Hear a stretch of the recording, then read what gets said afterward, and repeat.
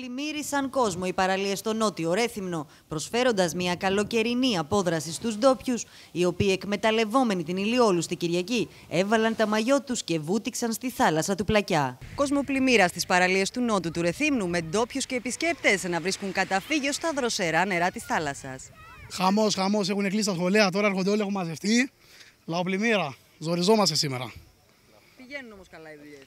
Παναγία μου, όλα καλά, δόξα τω Θεώ, δουλειά να έχουμε. Από πού έρχεστε; Έρχομαι από τη Γαλιά, στις μοίρες κοντά, μακριά, αλλά αξίζει τον κόπο. Είναι υπέροχα. Τι έχει το υπόλοιπο πρόγραμμα για σήμερα; Ε, τίποτα, θάλασσα, μέχρι το βράδυ. Ποιο είναι το υπόλοιπο πρόγραμμα της ημέρας; Θα δείξει. Όπου μας βγάλει. Ωραία είναι εδώ. Μας αρέσει η παραλία, η ταβέρνα πάνω, μια χαρά είμαστε.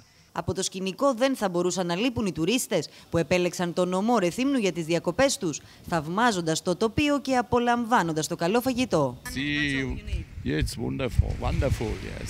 But not so many persons. The taverna is very good. All we need for a great holiday. The sea. the sea and uh, the sun and the, the food also. Many restaurants, taverna, good food, not so expensive. It's our second day and it's great. I want to go swim. It's very nice here. The water, the people, everything. It's like in Turkey.